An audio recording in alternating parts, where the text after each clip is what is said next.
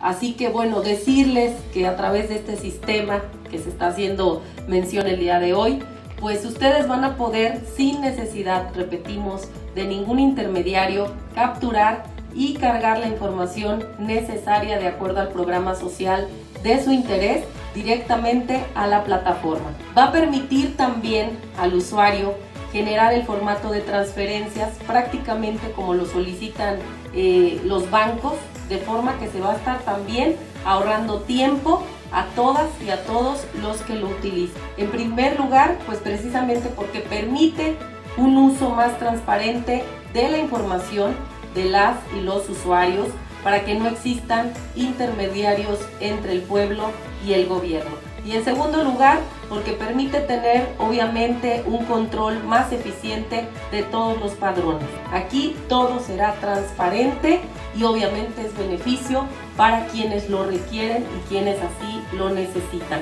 porque el dinero es de ustedes, es dinero del pueblo y tiene que regresar al pueblo. Vamos a empezar por quienes más lo necesitan. También nos lo ha eh, dicho nuestro presidente Andrés Manuel López Obrador, por el bien de todos, primero los pobres.